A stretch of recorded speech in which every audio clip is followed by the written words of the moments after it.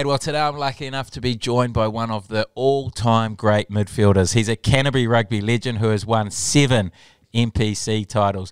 He's also managed to rack up 152 Super Rugby games with the Mighty Crusaders, winning three titles along the way. He's also won five rugby championships with the All Blacks and has just recently returned from Japan, having won the top league with the Kubota Spears. He is a true winner. And off the field, he's the ultimate lad, a man who everyone speaks extremely highly of for good reason. He is, of course, the lad, the legend, Ryan Crotty. Welcome, mate. Huge high five. that wasn't that um that intro was almost too far away for me to read, so I was I was really squinting to read it. But mate, we got through there, and mate, what a what an honour to have you on the podcast. oh, thanks for having me on. I was uh, I was waiting for the call up, and yeah, that's the only reason I came and helped train because I thought I might get a chance to jump on. So Mate, it has worked out so well having you come train. Mate, how, how's it been coming back in? Um, an ex Crusader legend, future Hall of Famer, I believe, coming back in and just chucking the boots on and having a run around.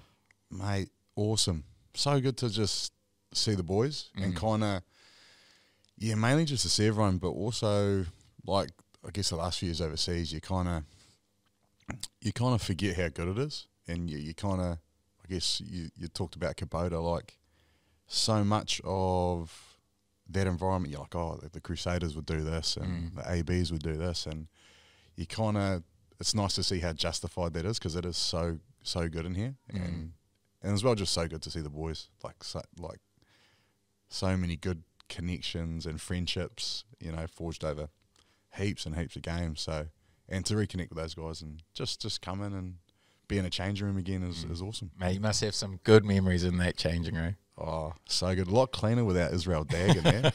Way tidier, but um, yeah, just oh, locker room chat. How good. Yeah. And you mentioned Kubota, you've been over in Japan. Has it been five years you've been over there?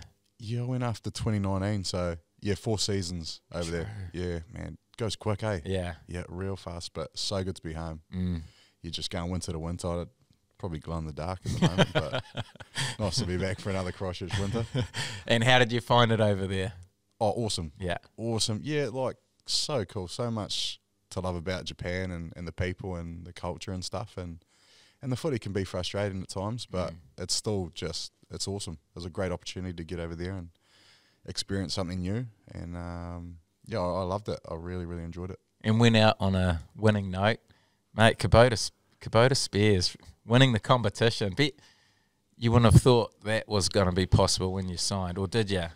Oh, I knew it would be tough. It was real, it was real like um, some big learnings. Like yeah, like we were kind of on. They were on the right trajectory when a few of us kind of got there, and um, probably credit to everyone there. They like a Japanese group with a really open mindset to growth and able to take learnings from here and try and apply them mm. with with that environment was was we're really lucky because a lot of teams aren't that's quite like that. yeah. yeah.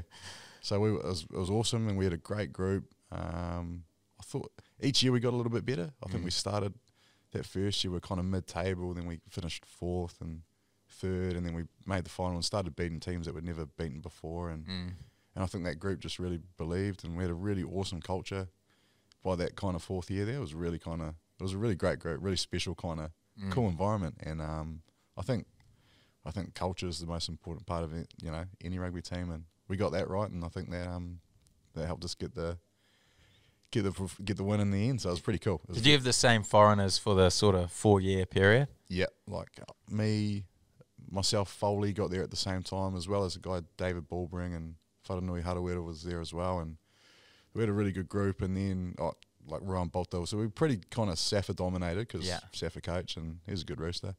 And then um, Malcolm Marx came in and he's basically a whole front row in Japan, so our scrum started dominating and um, yeah, and it just everyone just got along really well. A lot Yeah. of golf, you know, a few beers every now and then. Loving the dream. Oh, love a love a love a feed out. Like Yeah. lots of good spots in Tokyo. So Yeah. it was um it was a, it was a great four years and cool way to finish up. Yeah, and I guess a lot of players who go over there always get frustrated that, um, especially of your caliber, that they don't have much say on the rugby, or um, you know they, they have these ideas, but they always just get brushed down, or you can't get them across the line. But sounds like you had a little bit more say than most. Yeah, well, like you talk to guys at other teams, Mm. and, and you can kind of you have the same kind of conversation. Everyone's kind of facing the same Yeah. kind of kind of challenges, and so like yeah, talking to like I think Ben Funnell, for example, he was over there and he's trying to do some stuff defensively that had worked back here, and then I just remember his frustration at not being able to you know get any headway Yeah. with um introducing that. So it made me feel like really grateful that the we had the opportunity to be able to give because Mm. to be able to give is you know a massive part of just being happy Mm. like you know being able to give and help and that was it was really kind of rewarding and then you got Bernard doing a lot of attack stuff and um, Malcolm helping out and, and everyone just having input and then once you got a kind of team that's being driven by the players and Mm. everyone's like right on board and everyone's so invested so it was um it was cool and it was cool to see how much it means to guys that are kind of it's a it's different eh Mm. um Japanese rugby like a company is you're, you're kind of a yeah, I guess a marketing tool for the company. Yeah. it's quite it's quite strange, but those guys will be Kubota for life. They'll they'll go to the factory and work, and then come to training, and you you see them turn up in their o- overalls, and you're like, that's what. So your players were still working during season? Some of them, yeah, we I think we had about That's crazy. eh? yeah forty percent were pro, and then Oh, the yeah, rest were yeah. all workers. So they'll go to the Tokyo office, and Yeah. some of them are in sales.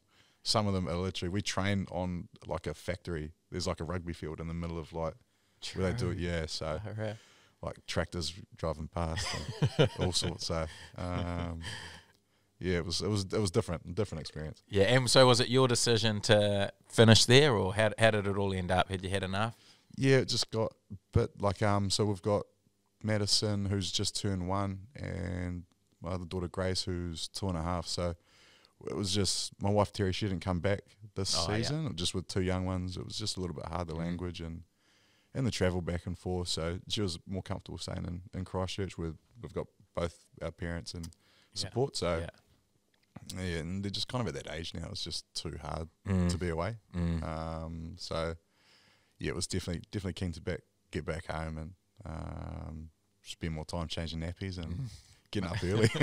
no wonder you're eating out every night over there. you Yeah. can't cook to save yourself. oh, I know it's those heat 'em up ramens or um, those two minute rices go pretty good as well. But yeah, well, you kind of did. Otherwise, you're just so lonely. Yeah. you know, it's like yeah. So I was pretty lucky that we we had a good group of lads always to kind of connect with, and so you don't spend too much time. Yeah. you know, yeah, on your own. Well, literally, when you go to the supermarket and you get all the ingredients to go home and cook something, it's more admin, more cost probably than even just jumping down the road to a wee ramen joint. Mate, that's what I told myself. That's why, that's how I convinced myself not to cook. Like, oh, cheaper to get, you know, go out for feed than, than to cook it up yourself. And then you got to do the dishes as well. So So, what's the plan now? You've um, what have what have you come into? Mate, I'm just literally eh, hardly thought about it, eh? I was, Free agent. yeah, I was just kind of, oh, there's a bit up in the air, but I kind of just thought, oh, hey, like if I just focus on doing the best job I can for Kubota and fully Mm. invest in here, then whatever happens, happens. And I'm going home to be with the girls, and that's that's the mo- most important thing. So that's kind of what's happened. And then I found myself day two walking down for a coffee um, just around the corner and I see you drive past, and next thing you know, the phone, hey, mate, you want to come in and hold a pad for it? so, and I was, and I was literally, it was, it's quite weird. Like, you kind of, your whole career, you're like, oh, you just kind of want to be, you know, like kind of do th- do whatever you want. And Yeah. then you get it, and you're like, wow, this is strange. This is strange. Like, and then you, Too much. yeah, yeah. So it was, it was, it was a real blessing to. I was stoked you you reached out, and I was, yeah, I was thinking I was in pretty much straight away, and Yeah, mate. You, you, you're the fastest response. like you literally ran straight to training from that message. I'm like, geez, that was quick. oh, yeah, it's, oh, just I love it. I've been part of a team. Yeah. Love, like you know, love um, that that side of rugby. You know, the friendships and the connections and Mm. things like that. So, yeah, I guess I'm just waiting to see what happens. Yeah. Um, Definitely not ready to retire then. No, you got plenty more to give. Your body's in good nick. Yeah, it's hanging. Japan was was different. Yeah. you know, it's a lot. I guess they train as hard as the games. Mm, That's the thing. You mm. got to kind of if you can be smart around your training load. The, the games don't take a. They're fast, but they're not as physical as they are in New Zealand by Yeah. any stretch. So Yeah.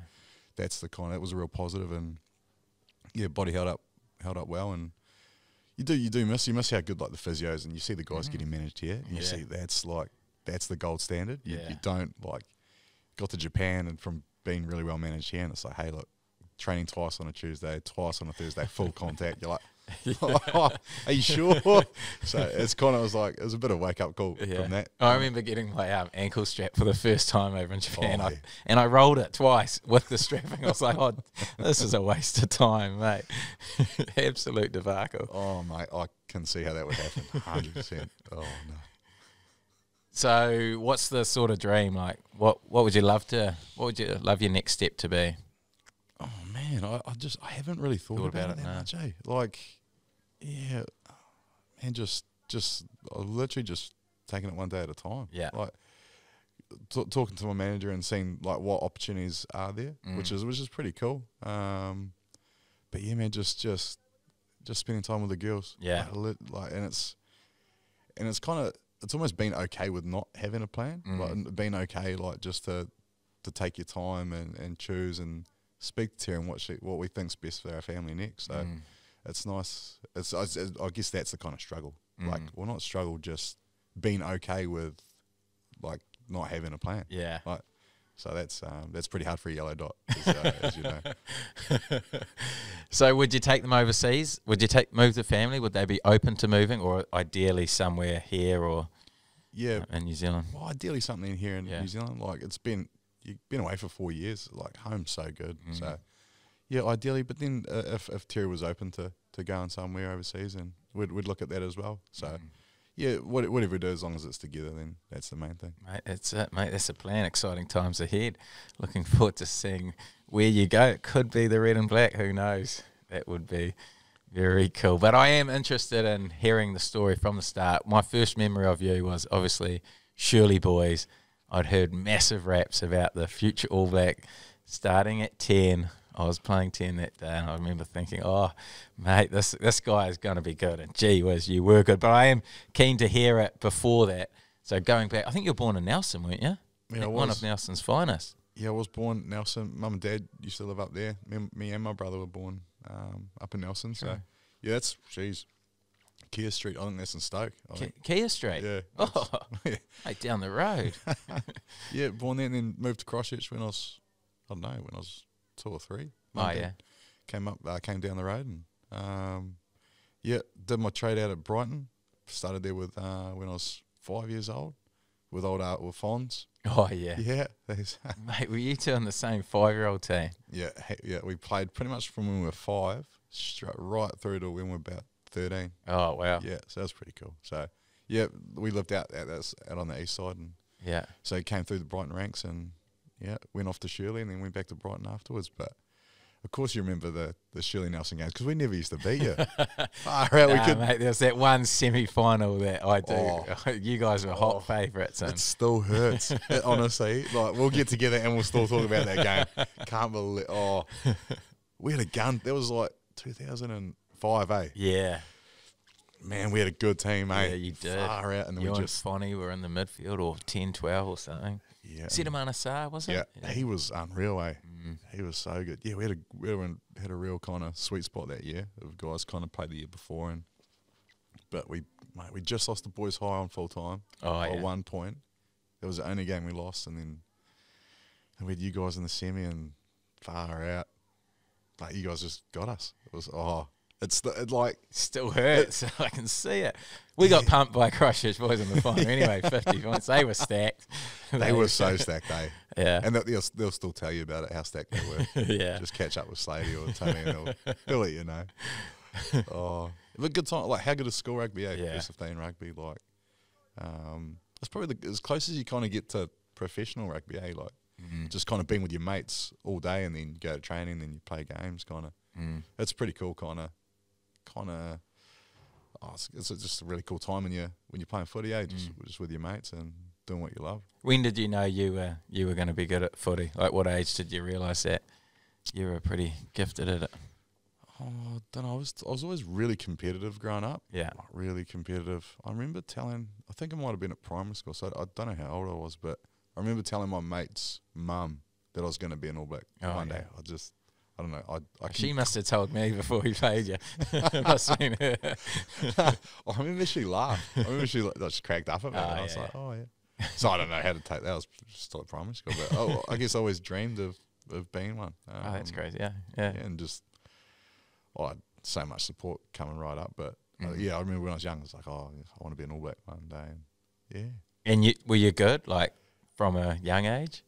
Um, oh, when when like you make like you, I guess you judge it by making rep teams and stuff like that. Eh, when you're younger, and me and Fonzie were were, were in those a lot together. Yeah. Like under, geez, you remember some of the guys? Like we were with Michael Leitch one year, Oh yeah. Slady, uh, Fonny. Oh, there was some. A lot. You could look back at the old photos, Yeah, yeah, like yeah. like age group footy, and um, yeah, like came, came through the gates. Dicko, Ash Dixon, Oh like, yeah. Yeah, like so kind of we we all kind of we were the same age, so we kind of came through the, the ranks down down here together, and yeah, kind of I guess yeah, yeah, I, yeah, don't want to sound arrogant, but like you knew. yeah, I've always believed always believed I could if if you work hard enough, you can anyone can Mm. can do it. So Was it always rugby? Was that the main sport for you? I played heaps of sports growing ya? up. Yeah, mum and dad were awesome. Though I think they were like, if he's playing sport, he's not getting into shit. Yeah. you know, like so they were always like athletics or mu- mum's dad was a really good swimmer, so and she always kind of pushed me and my, my brother and sister kind of into swimming, and Oh yeah. this is not a bad idea living in NZ, but um, no, it was too much hard. Like once it got to like five a.m. starts, I was like, nah. So yeah, like swimming, volleyball, basketball, um, like athletics. True. Yeah, just like everything. Just Yeah. like get into it. Like no good for mum and dad, like driving us all around town to Yeah. trainings like non stop. But yeah.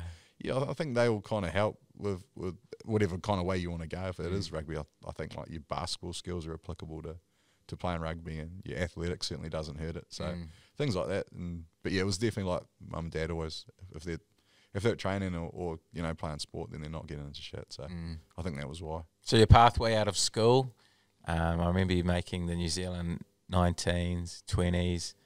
Yeah, Um, they were pretty stacked teams too. yeah, it's pretty cool when you kind of get it because we were always at the trials for those together. eh? yeah, like And I had the pleasure of having your comms outside me one game, and I thought, oh mate, this if I'm not going to make the team with Crotty outside me, I'm no chance. I didn't make it, but oh, yeah, no, yeah, like so, yeah, played at high school, um, and then schools.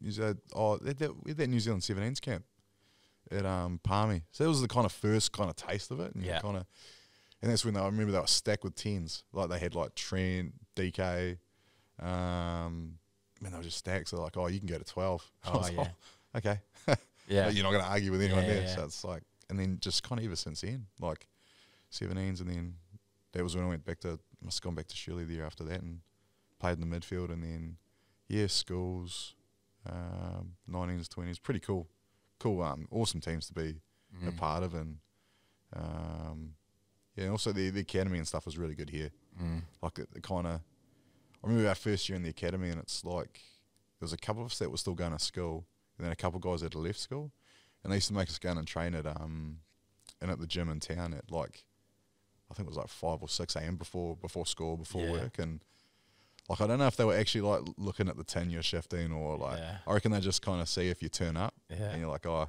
and basically all the guys that would turn up would kind of make it into the academy, and once you kind of got that that, that kind of that training base, I found like when you went to went to first fifteen rugby, you you were kind of a little bit ahead of the guys that weren't kind of doing that sort of training, if that Mm, makes sense. mm. So I felt like that was a real kind of part, like a real crucial kind of time, and I guess my footy career is, is where I kind of got a, got a wee bit ahead just Mm. through kind of working a little bit harder. Mm. So that was pretty cool. And when you made the New Zealand teams, was there um, ever any opportunities to move to another province, or was it always Canterbury for you?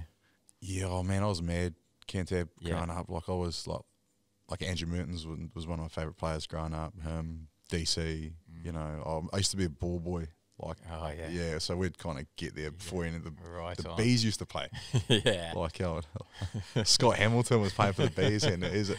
I just remember he was awesome, and uh, we would get there early and we'd like go kick goals and pretend like we were, yeah, you know, playing and stuff, and then so you kind of ball boy both games, and get some hot chips between the, you know half time and and I don't know. It's just I guess stuff like that kind of Yeah.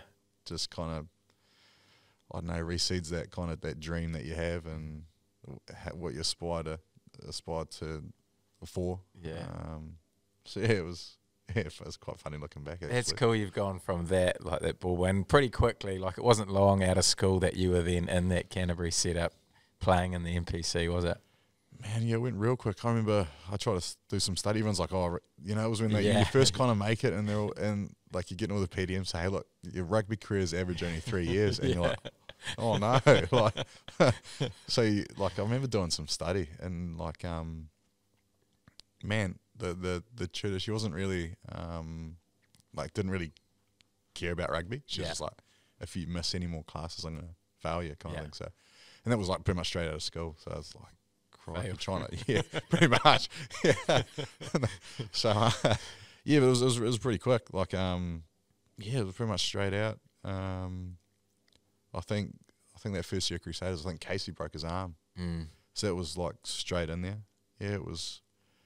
You, yeah, it was. You're learning learning on the hop pretty quick. Yeah. Um, but looking back, it was awesome. Like Yeah. you're playing against guys. I think when you first come in, like I remember, I remember John Smith. Like I was braced over a ruck, thinking, oh, like that's him. and then he sees me, and then he just goes bang head first, bang, like, splits me like Harry Potter. Like was like, well, welcome to Super Rugby kind of thing. Like, yeah, just I think you play each week. You're like playing against guys that you've just a year ago you're watching on TV. Like, how how awesome is he? kind of Yeah. So it's quite a quite like a you get starstruck. I think that that first kind of season or two that Yeah, you you're, you're in massively. And I'm, I'm guessing you're starstruck probably the most in your own side. You guys had a, oh, you spoke about your idol being Dan Carter, and then next minute you're outside him trying to tell him where, where the space is. mate. It's um, yeah. You, I remember that. I remember we had a really experienced forward pack. Eh, when I first came, like Jacko, um, Franksy, uh, Brad Thorn. I think was still there. Yeah, Um, oh mate, yeah, that was stacked. McCaw. yeah. yeah, yeah.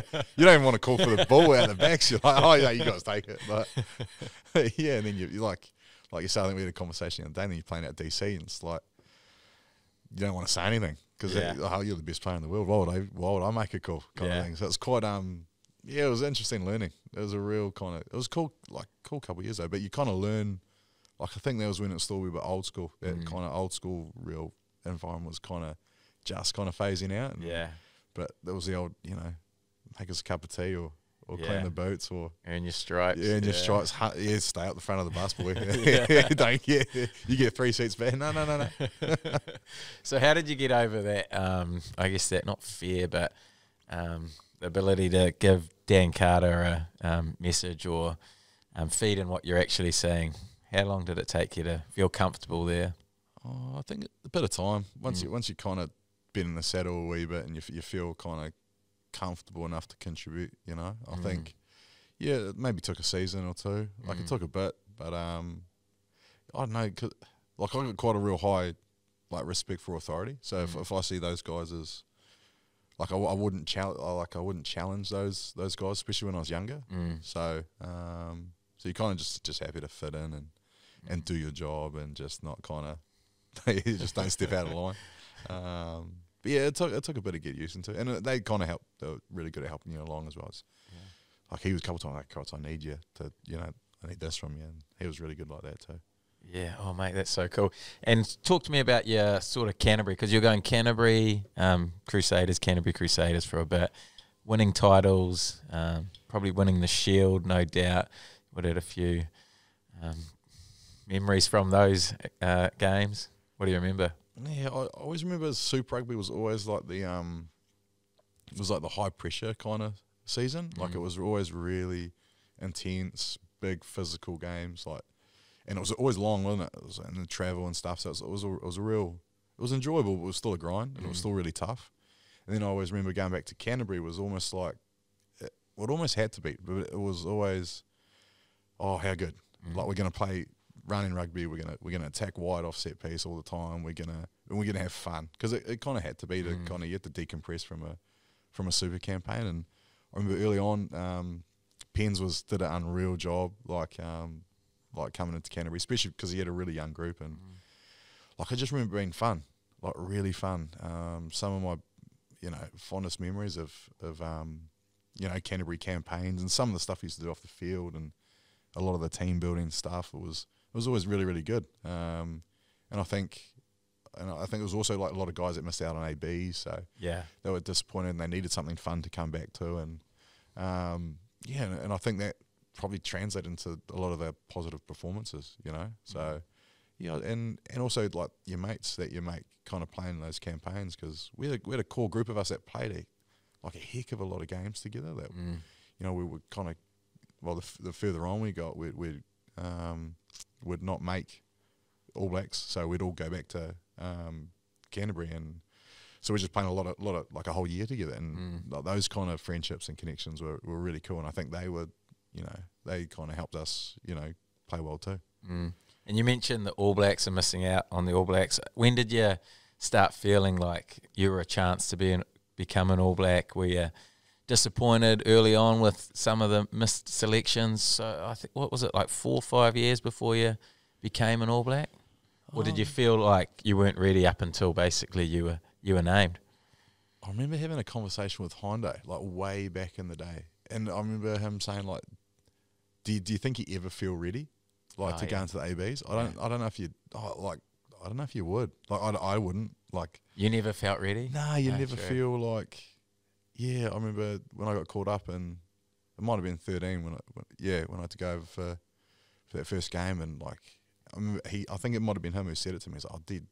But would you ever feel ready? Mm. I was like, yeah, it's a it's a good point. Maybe you wouldn't. Like, so yeah, He must feel ready now. mate. Bolty, you reckon? Bolter, heard it here first. yeah. So um, yeah, I, I don't know. I was never disappointed. You always hope, you know. You always you always trying, and that's that's the ultimate goal, isn't it? yeah. So, but no, I wouldn't say disappointed. And you you got to look at you know missing out as an opportunity for Yeah. something else. Yeah. So when you did finally get named, what was that like?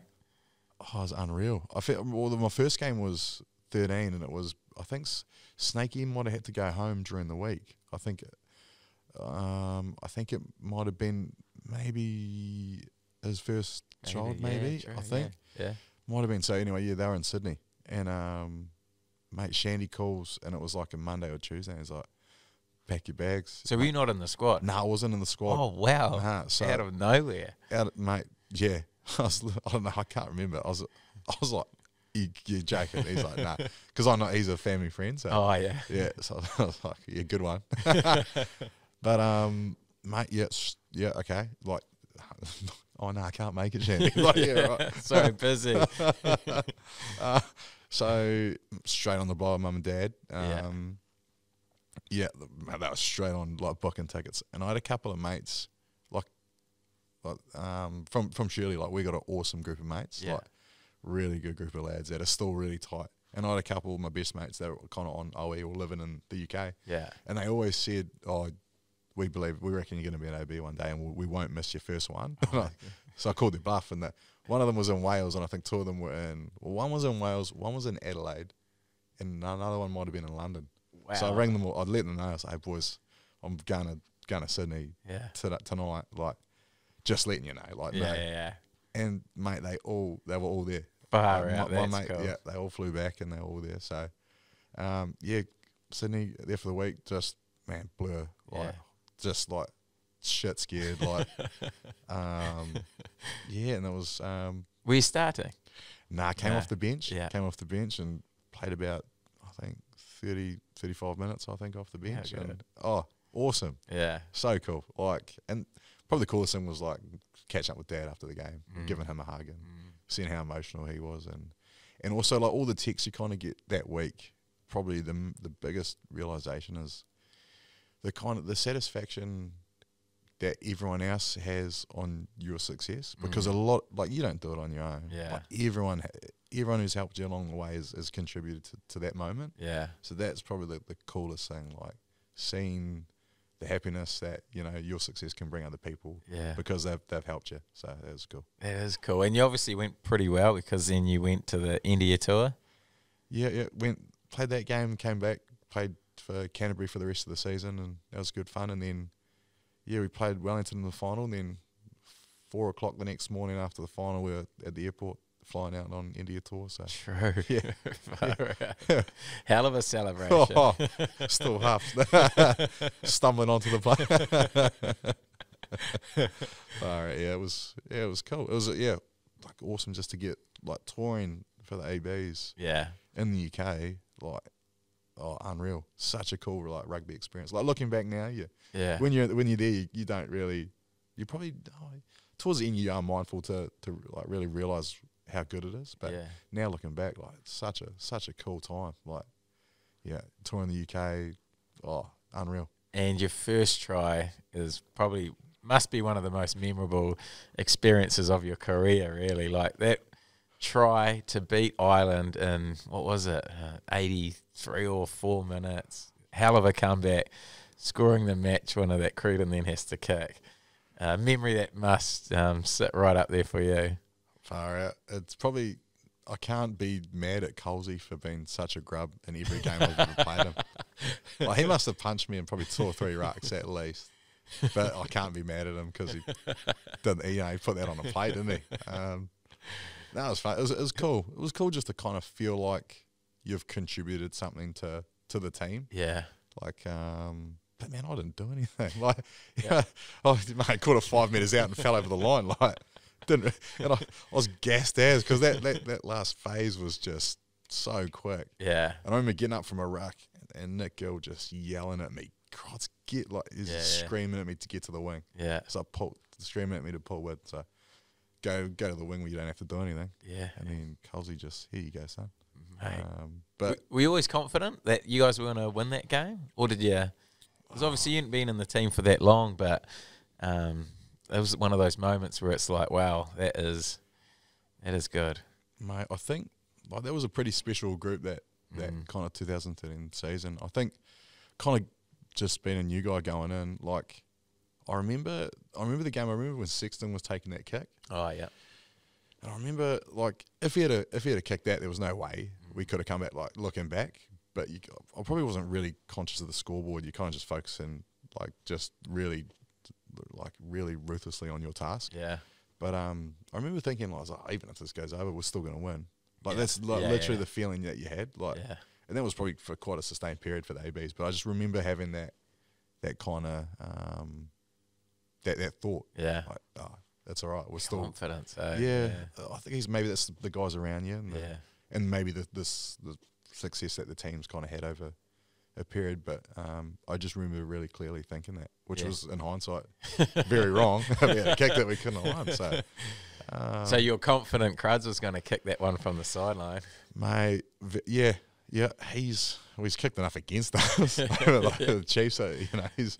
Um, but we actually we played um we played Suntory in the semi final, Yeah, and he was the ten, and they had a maul try that got disallowed in the final minute of the game, and he was going to need a kick from the exact same oh, spot true. to um to, to win it for them. Oh, and the exact, wow. and I was just like, damn it, this better not be a try because he'll probably ice it. I've seen this Yeah. before. yeah, yeah, deja vu. Oh, but very different feeling. What about your goal kicking? Did you like you were goal kicking back at school? Would you have wanted that kick from the sideline or?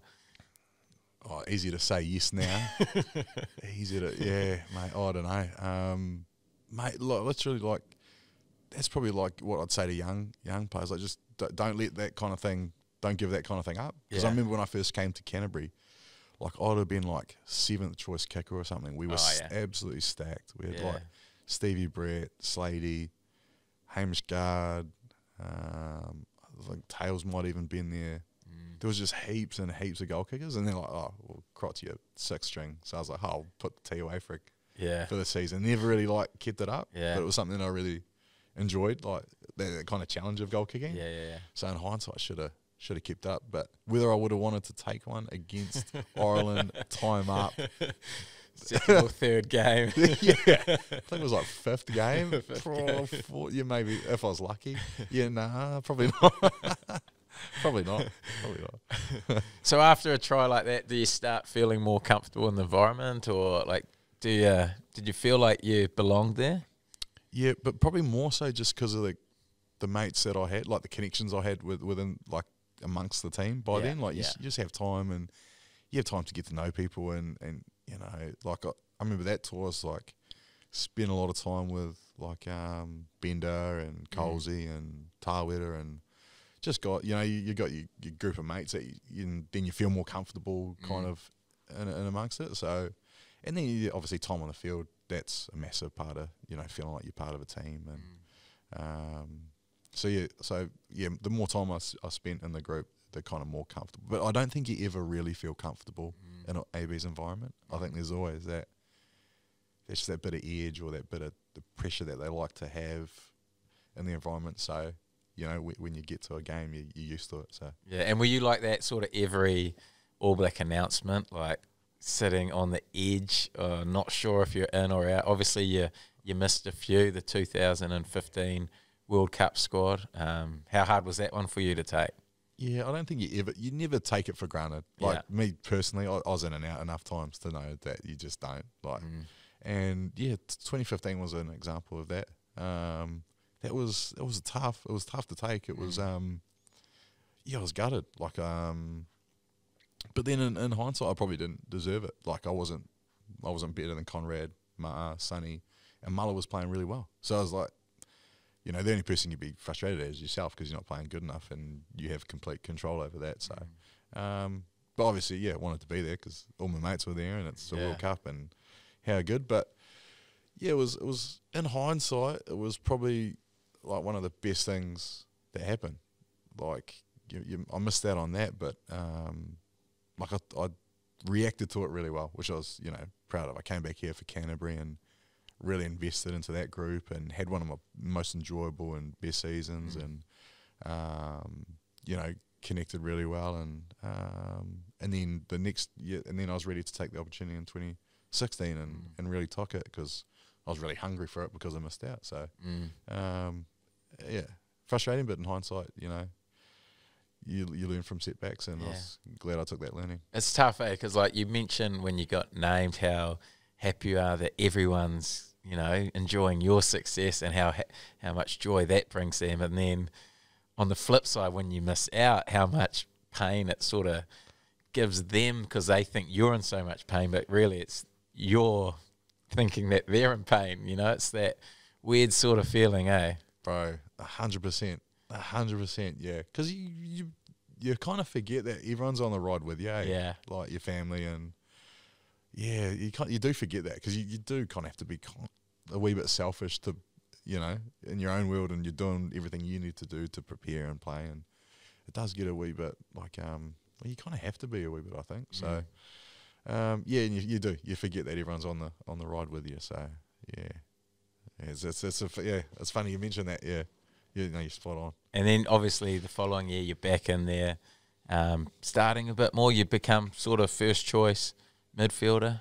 Yeah, it was. It was also. I really like. It was a real strong goal. Like Mm. man, 16, 17, Well, sixteen was just to kind of establish myself as a as a starting All Black and ho- hold it down for for a whole season. And um, and obviously the Lions was a pretty big carrot. But yeah, it was just yeah. Sixteen was was good from the learning from the year before. So yeah, it was it was a great season. We really enjoyed it. Um, enjoyed the challenge of like um, because it is it's such a challenge in, in that environment and international rugby. So um, that was it was a really memorable year from from like just knuckling down and, and working really hard and, and getting some reward on the back of that. Because it wasn't sort of just misselection that you had to deal with. You had a, so many injuries throughout your career, particularly concussions, a um, few others as well. But um, it was definitely something throughout your career you you had a tough time with.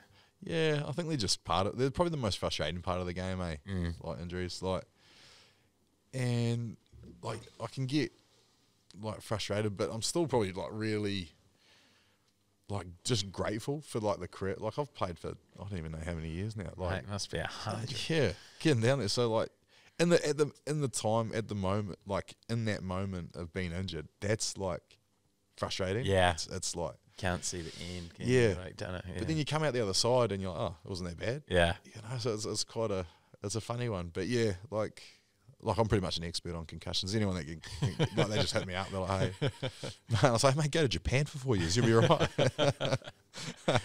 so, but yeah, it's um, oh, it's just part of the game. And Yeah. you see the boys here going through it. Like Mm. you boys been hit pretty hard this season, and um, yeah, like it's like any setback, you just got to deal with it and as best you can, and Mm. um, use it as a, a, a challenge, I guess. And I guess that's what I did every time. And I was pretty lucky. I've always had good, like especially around here, really good care, and Mm. especially like you say around the concussions. Doc's great here, and really good physios around that co- kind of thing. So um, I think it's just part of the game. Yeah. Yeah. So what did a concussion look like? Like obviously you had, I think was it like six in just over a year? Like it was a pretty um, decent tally. Yeah. Like what what did it look like at its worst for you? Oh, the thing is, the worst part about it was the noise, like the, what everyone says about it and stuff. Like you Mm. read about it in the media. That's the worst part of it. Oh yeah. Yeah, so like, I guess because I had a, a couple like quite close together, um, like it was, um, I guess it became easier to, to get concussed if that makes sense. Yeah. So, um, but then the, like I said, the most frustrating thing was was the media and stuff. But with, with I found with my my ones person, I think everyone's different, but Mm. with my ones, I would recover really quickly. Oh, okay. Yeah, so like I did all sorts of stuff, seeing like a neurologist here in Christchurch, and um, having cognitive brain function tests done, and like I was my my baseline. She was I don't know whether she's trying to make me feel good, but she's like, "You're, you're sharp, boy." You're a genius. says that Einstein's reckon. I reckon she was just fluffing me so I could go back. She's like Massive yeah, Crusaders her, fan. yeah, yeah, yeah, get her back out there. oh, nah, she like it was awesome. Like I, I was really well looked after, and that, that's that's half of it. the- Yeah. the, kind of peace of mind and how you actually feel about it. Um, but no, I, man, I recovered quick, like like genuinely, and then um, I think it was mostly like a week or two at a time. I just had to Mm. take a wee smoko and like let it settle down, and, and then I was I was good to go again. So Would you have done anything differently? Because you were getting them, you know, like you said, they were becoming easier for you to get concussed. Would you have done anything differently in hindsight, looking back, or not really? no, You felt good. You were ready to go. Yeah, felt good. Yeah, like um, no, I probably wouldn't Mm. because I I feel like the processes that they have in place around that kind of thing are, Yeah. are really good. So if you follow those and they're so mindful of it now, like um, no, if you, if you just do the right things and you do, if you do right by you, like, Yeah.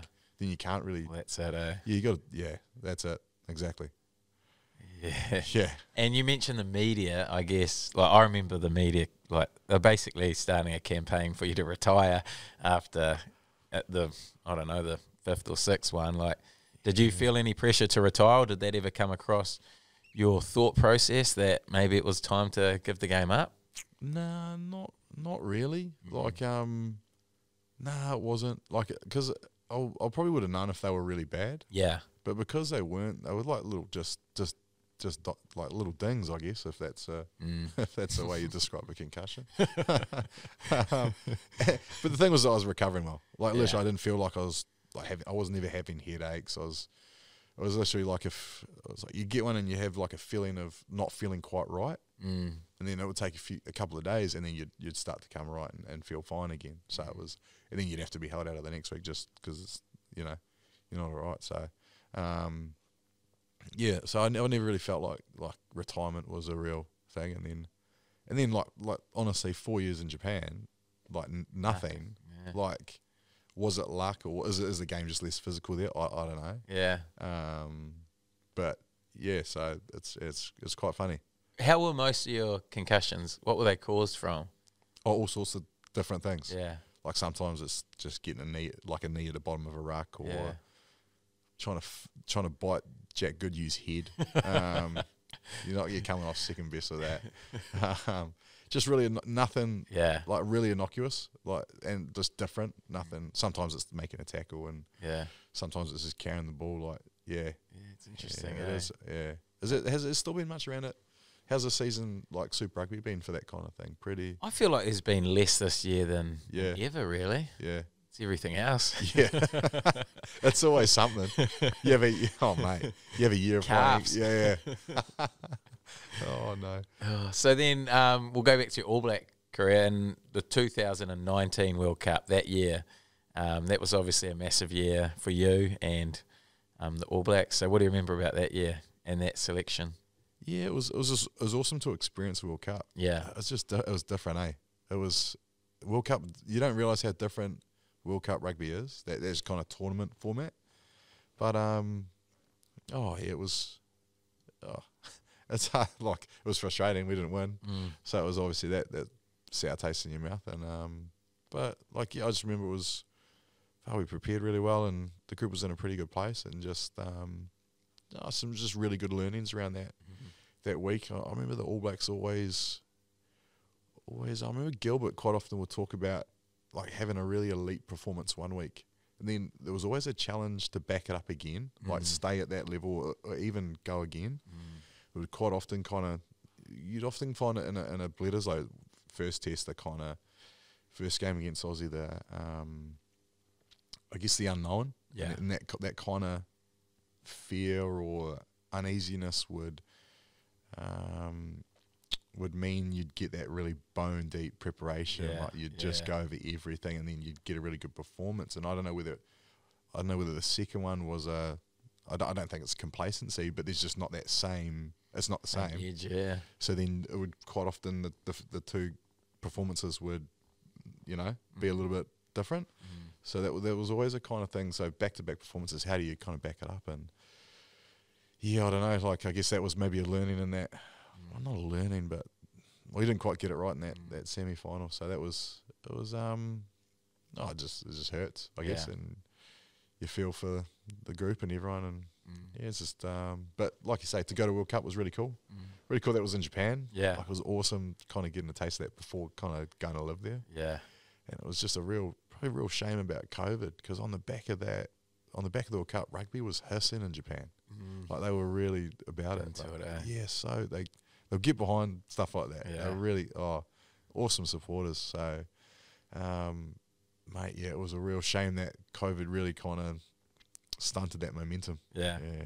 And what what about your um, selection in the semi? You missed selection for that semi. How hard was that for you to take? Did you feel like you, you want you, you obviously wanted to be out there? Did you feel like you deserved to be out there? You would have made a difference. Oh, hard, hard to say. Yeah. Hard to say. In hindsight, eh, anything you can say stuff like that. But nah, it was it was just gutting. Yeah. Gutting to not have the, the opportunity. But um, but that's just the way it goes. Like I, kind of learned like like I've had so many awesome moments. Like you can get hung up on the ones you don't get, or you can just be grateful for the ones that you do. Yeah, Um, and man, I've had been so especially with this team in the ABs with Canterbury. Like I've just been so lucky to have that many awesome kind of memories and moments and and mates that um yeah I got more to be grateful for than than to be disappointed about. So yeah. Um yeah, but I was, I was like I was lucky. Like I'd Bender there as well, and we were in the same boat, and he'd put, he'd be my best mate in the ABs, and Mm. we spent a lot of time together, and it was cool. Kind of you know we could be filthy about it, but then hey look mate, we got to train, we got to prepare the boys well today, and Mm. focus on that. And he and he was really good for me with that too. So it was um yeah And you got your send off in the third and fourth against Wales. yeah yeah it was it was a weird one eh Yeah. a really strange week that like oh but but like how do you get up for that but then you do you do you're like man why not like Yeah. how good like we're at a, we're playing in a game another game at the World Cup and um you you kind of I remember that week I more drew from the guys I was playing with Mm. like I was playing with Colsey playing with Bender you know playing with Nuggy and Mm. all these guys, Sonny, you know, all these guys you've played, Rito, like all these guys you've just played so much code with throughout your career. And this is the last time you're going to put on the jersey. So draw emotion and use that emotion to fuel your intent kind of through that. So that was, that was, it was a, it was a weird one, but it was a, a moment that you still got to take. And, Mm. and my dad, mum and dad there, and Terry was there too. So yeah, Mate, how good. yeah. And you mentioned all the moments that you're grateful for, like um, some of the memories in the Crusaders, All Blacks. What are what a few that really stand out? Um, like cel- like celebrating championships is are awesome. Yeah. Like s- seventeen was Got really to cool. A few of those. Very lucky. Like you, yeah, you, Seventeen as in Africa, eh? yeah, Man of the match too. yeah. You was were, weren't cool. yeah. What a time! You don't miss anything, up. eh? Hey, mate. Memory. oh man, that was cool. Like that was such a special.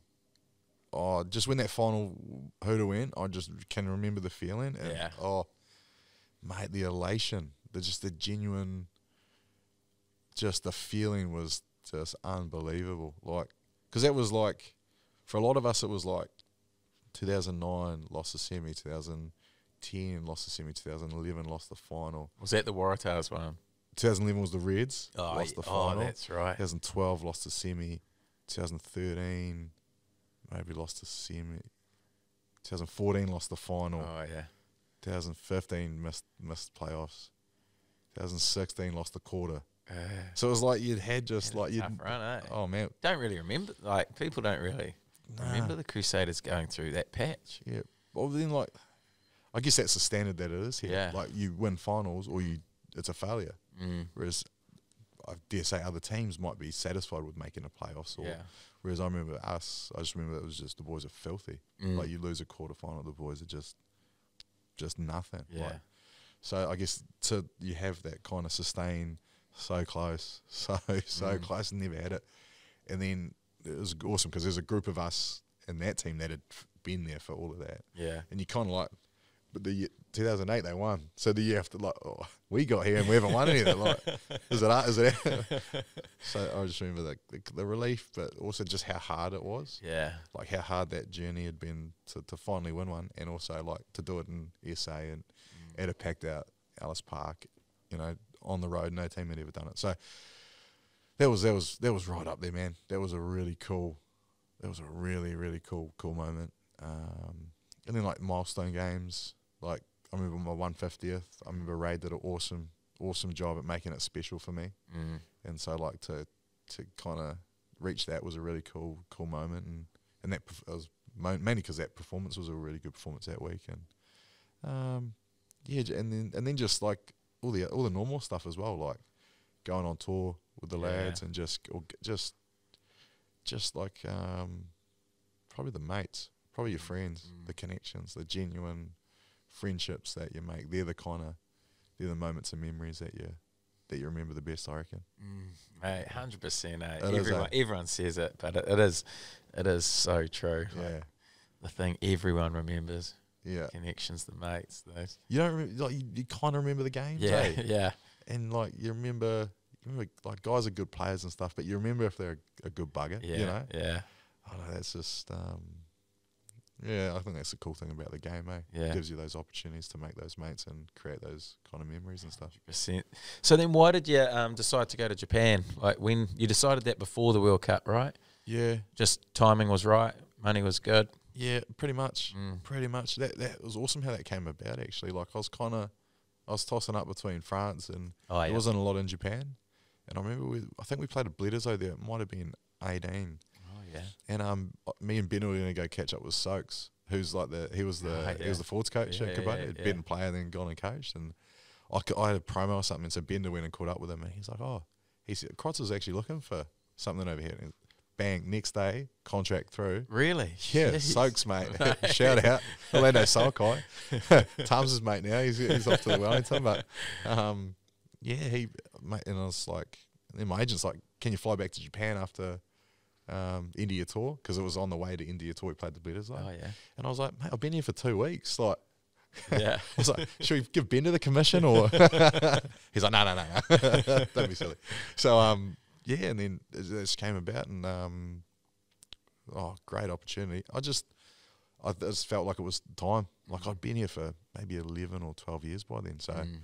Um, and we got we had awesome guys coming through. Like, like they do. You boys do that well here. The kind of succession plan for guys that are kind of transitioning um, out of the Crusaders and having guys just ready to step in. So, um, and also from the All Blacks as well. Like Mm. it was just just time for me to go. It felt right. It felt like I'd done everything I I could here and given it as good a crack as I, I could have, and um, didn't really feel like I was running away from anything. Yeah, Whereas if I remember, I feel like if I had gone in the past, I felt like I was kind of maybe running from a challenge or mm. just um, you know that kind of thing. So yeah. yeah. kind of just felt right. Felt it was right time and So is is that sort of why you stayed here as long as you did, especially in the Crusaders? Like, I remember a period when they signed guys like Sonny Bill, and um, you know, obviously you'd earned that starting spot, and then he comes in, and you're pushed back down, and then how does that make you feel? Does it make you feel like you want to go to another franchise? Um, you are pretty much an All Black, so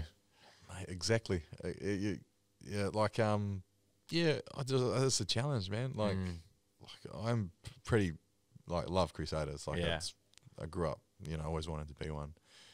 But like, I, I think I remember when Sonny came, I, it was just a challenge. Like, you Mm. just you you can't control what you can't control, so knuckle down and, and do everything you can to try and get it back. And like, I ended up playing a ton of club footy that year. yeah, Um, but that was just the way it went. Like that's if you're not good, he, he was better than me. So if, if I was better than him, I would have been playing. It's just the reality. yeah, So that's you, sometimes you just got to take it on the chin if you're not if you're not good enough. So I guess that was a bit of that. And then 2015 when I missed out on the World Cup, that was probably the main one where you're getting like decent offers from overseas and yeah, France, and that's the kind of one that you're like, oh, geez, what do I do Mm, here? mm, but then that was the one like like I hadn't been a consistent All Black. I hadn't I hadn't like really tested how hard I can push myself and hadn't had like the the real challenge, you Mm. know. And I wanted that, and I felt like if I had gone overseas, I'd have been running away from the challenge. So that was probably why I didn't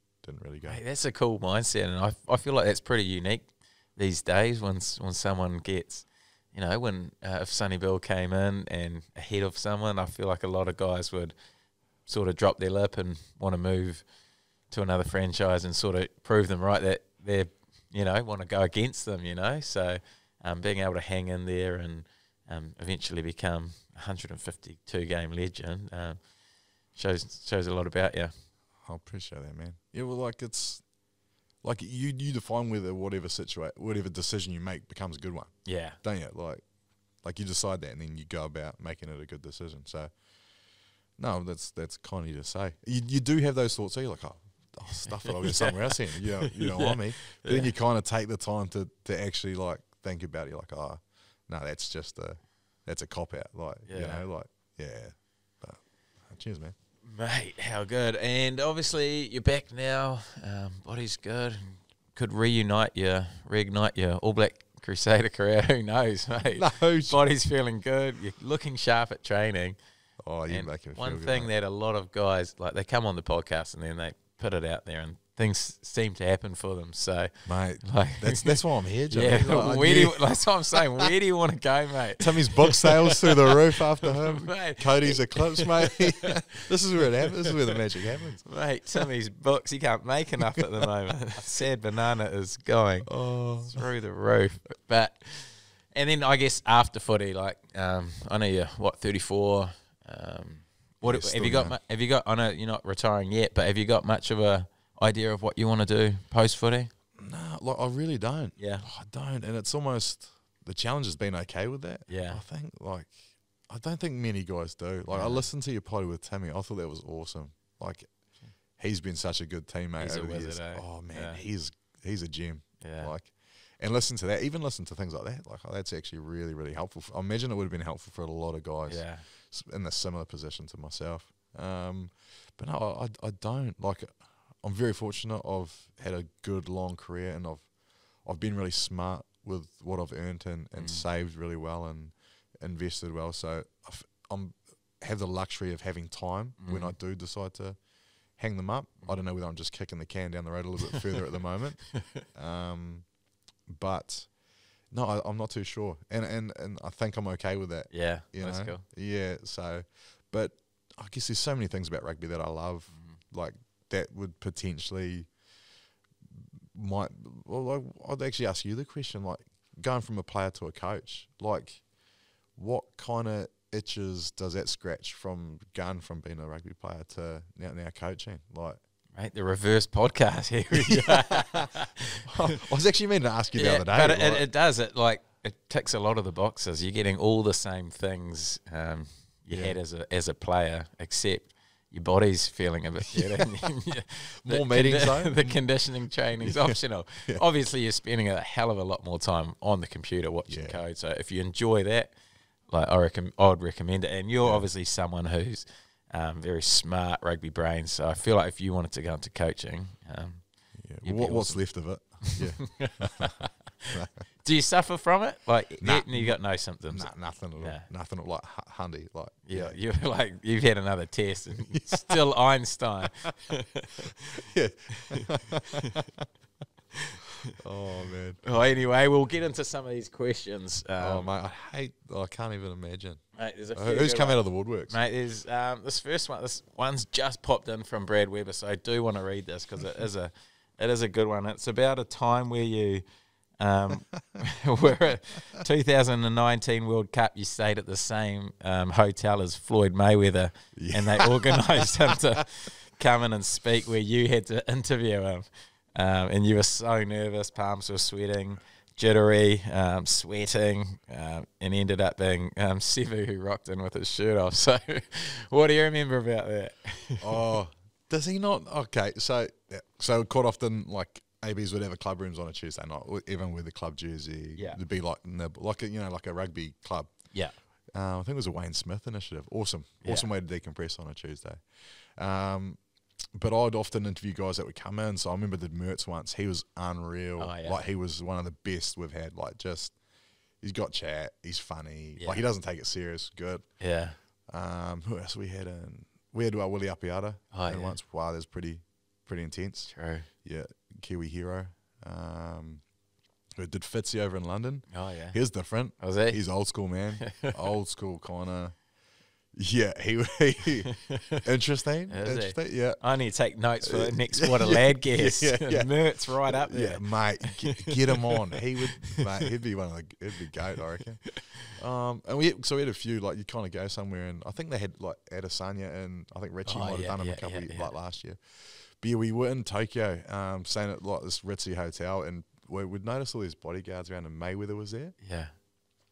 And kind of what happened was like, so myself, only three of us, the security guard, Bender, myself, and someone else. Might have been Sammy Cane or it might have been Gilbert. I'm not sure, but the few of us were in on it. And we're like, okay, we're gonna we're gonna tell the boys that we're getting Mayweather to come in. And so so Oh, so you I was in I was on in it. on it. But but like so we're going around like I'm acting nervous, like Yeah. was what do you want me to ask him? Like, Geez, you're a good actor, He's coming. obviously. At, so full, full Webby, full Webby straight. But like, I was going around like, and then I started to convince myself, what if he does walk in? then I am. So maybe. So I was kind of acting, but maybe I'd like double bluff myself that he might have been coming in. So I'm actually like, you pranked oh, yourself. yeah, I think I'm. So I'm actually like, maybe he is. Surely he's not. Surely he's on Money Mayweather. We we can't afford him. Like, so yeah. So mate, and everyone's like kind of, and then like so you see the guy, oh, Yeah, yeah. ask him this, ask him this. Yeah. He's like, oh man, no, no, do you, do you want to interview him? I said, no, no, no, no. Like, no one wanted it, and then um, next thing you know, they like start up some rocky music, and Sevu comes in in a dressing gown. Like it was. It was a good laugh in the boys. Got a few of them. Like obviously got Webby, but um, I must have sold it well, maybe. But What an actor. Yeah. Life after footy. There you go. Did you meet him though, or no? You just saw him from afar. No, he was just kind of. You see him, his bodyguards are massive, Oh yeah. big dudes, yeah, and he was just all blinged up. Like his posse was like, man, like he had like 40, 40 far people out. just following him around. It was it was quite strange, but it's next level. mate, eh? he's big in in um in Japan. Like he's a Yeah. pretty yeah. Well, he's big. Yeah. Yeah. He? He's Yeah. money Mayweather. Yeah. But I think he did like an exhibition fight, and it was just like Yeah. hacked out. Yeah. Japanese love stuff like that, though. eh? Yeah. Yeah. He's yeah. Okay, good start. Okay, next one. Um, we oh you asked that one around the. Did, did Webby not want to ask anything about the fantasy NRL this season? No, he hasn't. Oh, he's he wouldn't. He wouldn't anyway. Okay, next one. Worst missed tackle of your career. Oh, Won't be me. did Tom send that in? it is Tom's, yes. yeah, yeah. He put me on the toilet. Oh, stuck in the mud, and then he did this. Oh, you'll be able to find the footage. oh, Yeah, mate. He just done me clean. He was probably one of the hardest guys to tackle. was he? Him and Gitz. I remember playing Gitz Who's my Gats? first Oh, Matt Giteau. my first oh, game. true. I was like, he's probably like being like a smaller midfielder. I used to look up to guys like him, O'Driscoll. Yeah. um, even Tams. Like, but I remember I was like first game against Giddo. I was like, I'm gonna get him. Like, Yeah. I'm gonna get him behind the game line here. Get him like bang hit spin. He's 20 meters down. True. The field. I'm like, what just happened? Like, Yeah.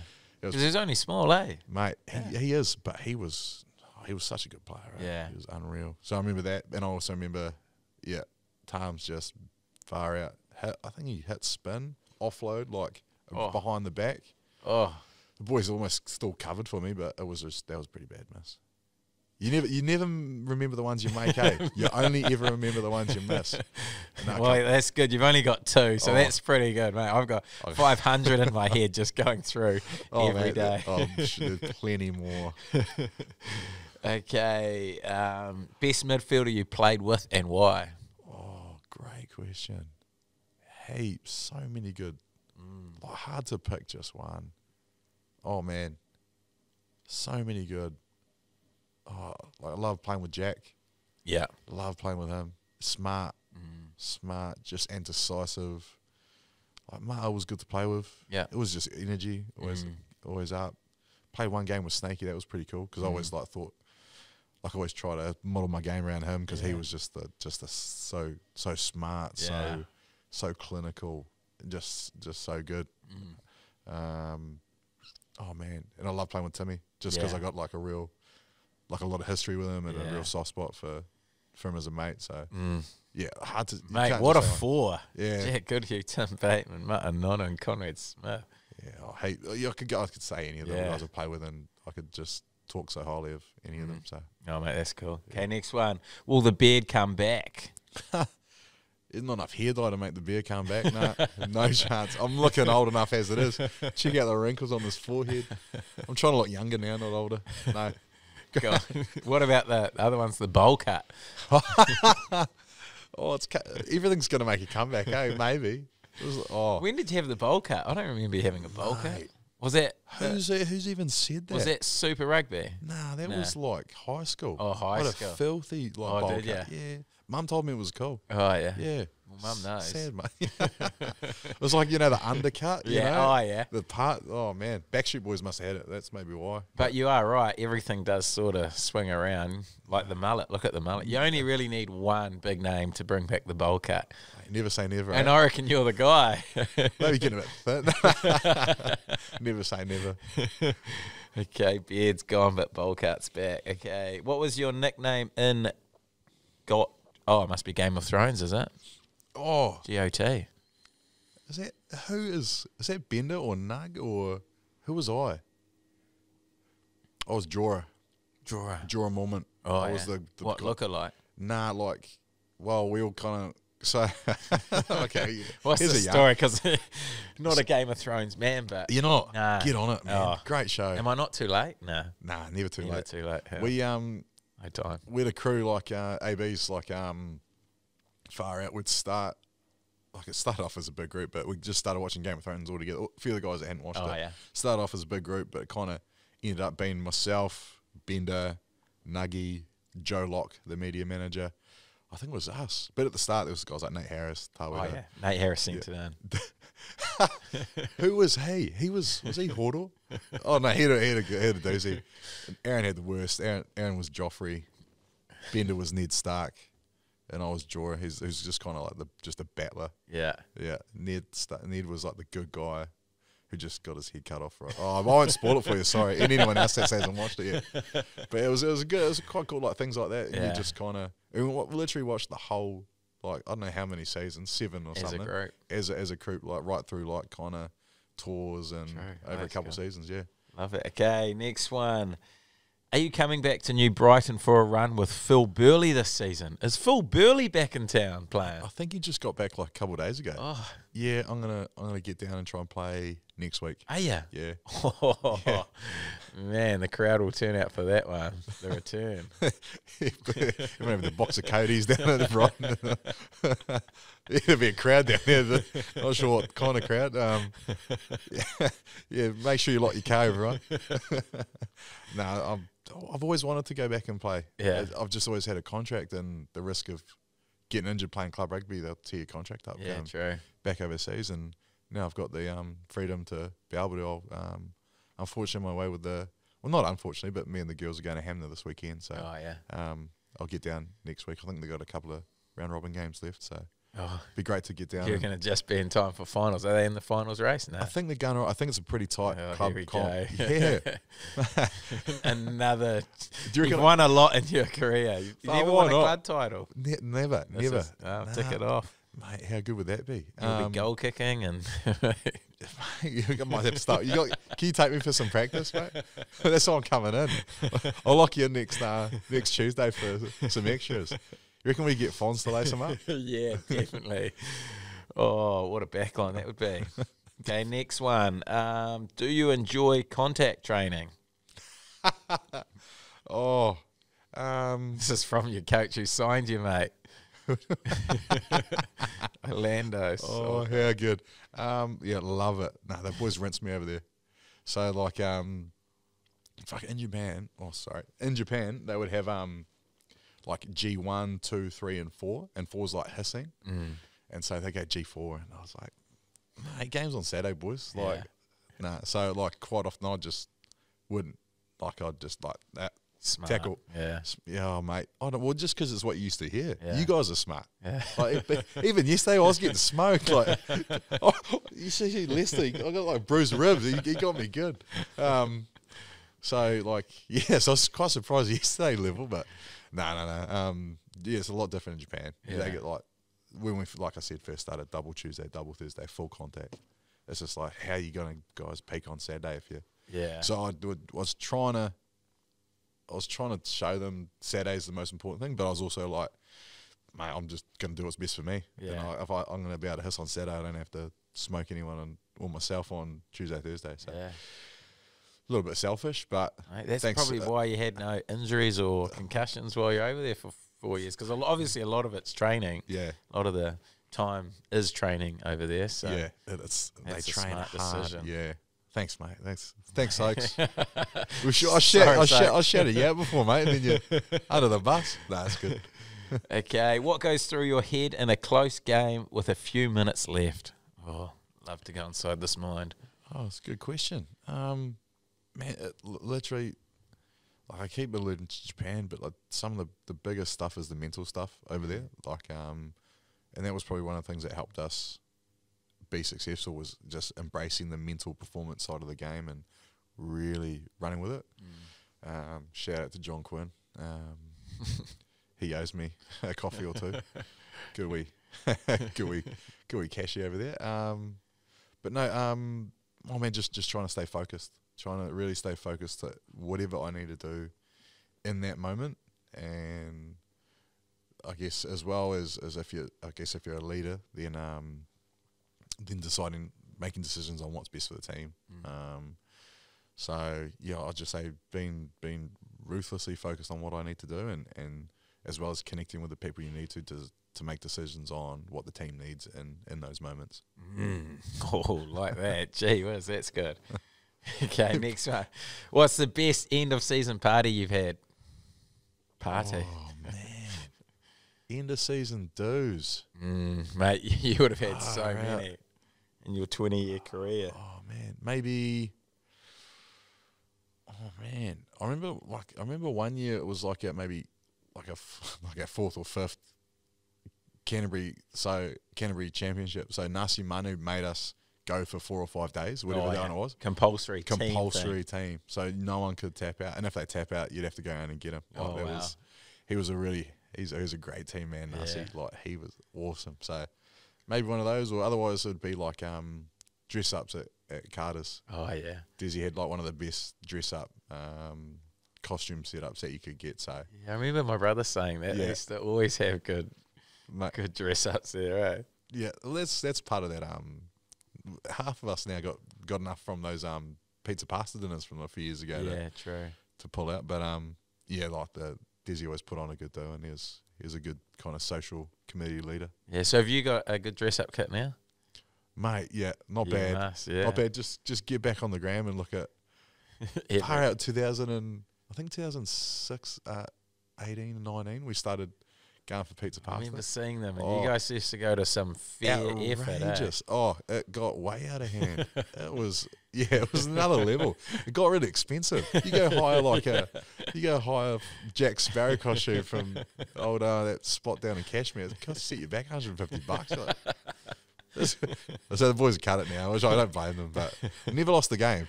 Never lost the home game like that. on a dress up. Oh, no. wow. So it must be the dress up, surely. Mate, surely keep the tradition. okay, two, two more. Yeah. Uh, any old press cup stories? Old press cup stories. Oh, probably the only thing. Oh, probably just like how bad the Marlborough referees are. Far out. We got and the Timaru referee. Oh, we got absolutely. Mate, we got shafted a couple of years. Oh, you don't forget, eh? Bitter or uh, yeah. never the Let it referee's go, fault. Let it go. High school rugby. Yeah, oh, press cup. It's just such a cool, such a cool thing. Yeah. Such a, like awesome. Um, yeah, I just, just, just remember, like just going to school with your mates and then playing in the weekend. This is awesome. Um, I think it's like high school rugby and like club rugby are like the real essence of what rugby really is. Mm. You know, that's the, that real humble kind of. I think the, the the yeah, I won't say the higher up you go, you kind of lose it, but I just remember I just reckon club rugby is, and um, Well, everyone's doing it for nothing. Yeah, They're all doing exactly. because they love it, don't yeah, they? So hundred percent. That's exactly Yeah. that's exactly it. But um, nah, memories. Mate, besides losing to you boys, like the hakas were cool. Eh? Ah, yeah. That's probably a good memory. Like did the- you ever lead it? You would be. Mate, this, I'm been not close to the front. mate. Surely, mate. We always had a, we always had some Yeah, brothers yeah, ready to yeah, lead. good I'm not- haka. Yeah, um, yeah. Those those are probably there's some cool memories. Yeah. Yeah. No, good. stuff. Okay, last one. Best piece of advice you have for a What a Lad listener. Oh, mate. This was what I was most excited about getting on the podcast. One bit of advice. Yeah, you're a wizard with advice. I don't know. Um, man, just I'd say, like I was kind of speaking about it before, but just like be o- be okay with um, like be okay with just being yourself, or uh, be okay with like however you feel about certain things and and stuff like that. I don't know if that's really clear, but like, um, man, oh. Yeah, like I- I'm speaking probably because where I'm at in my life right now. Yeah. But I'd say like in terms of my rugby career, just man, if you want something and you work hard, you're gonna like it'll happen. Like Mm. literally, hard, hard, working hard, being smart, having a plan, like you will get to where you need to go to if if you work hard. Mm. Like, don't make excuses. Just get on with it. Um, and if you want something enough and you work hard enough, it always takes care of itself. Mm, Hundred percent. When did you make your plan? Like, Um, man, I just did you sort of map it out? Like, how much did you map out? Did you map out your whole career, or No, I just I'd, I'd do it every every year. Every year. Every year, like I'd have like just write. I just write like I mean you know how you have your rugby book. Mm. Like I just I'd write down like what what I wanted to achieve that year.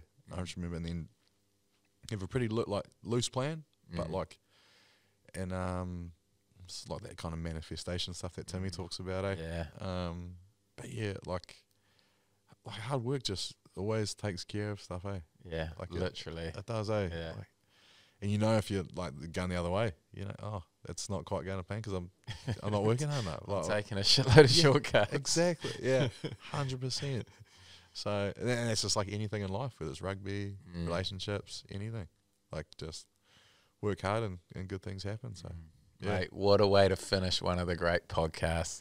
Um, absolute legend. Obviously, someone I've followed uh, very closely since my um, since he used to beat us at um, since high school rugby, all those press cup questions yours, you- Yeah. Mate, we hardly ever beat you guys. Like when you text me and said, "Oh, we'll start from press cup," I was like, "No, no, no. It's just we'll go from Brighton." No, but it has been awesome to go through your journey. Um, obviously, incredible career you've had. Um, still going. I'm looking forward to what's next. But um, yeah, absolute pleasure having you on the podcast, mate. You're a true legend. Thank you for having me on, Jimmy. Nice to connect these last couple uh, weeks, and thank, uh, thanks for the job you're doing here. You're, you're killing it, man. So keep it up, mate. Appreciate it. Absolute yeah. lad. What a lad, what a lad, what a lad, what an absolute lad.